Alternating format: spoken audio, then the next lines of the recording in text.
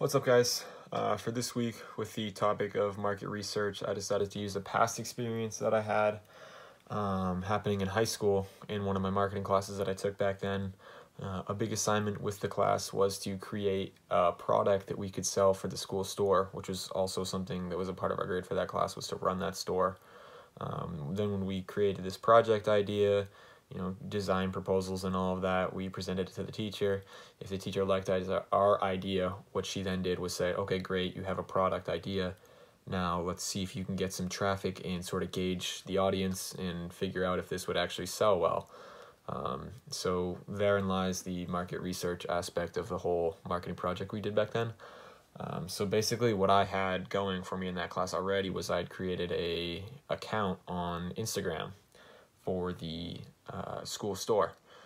The school store's account sort of gained traction um, when I created that whole project.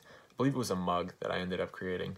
Um, so on Instagram and Facebook, there are ways that you can uh, get really technical and use Facebook ads and stuff like that to kind of hone in on your key demographics and stuff in order to um, figure out your target audience and market to the proper people so you're not wasting money when you don't have money to use uh, on Instagram and stuff like that, it's a school thing. Um, there are also ways that are actually pretty easy to use on Instagram.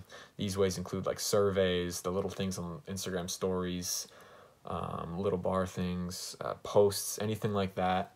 So I created multiple different posts and things like that, um, all documenting it to the teacher.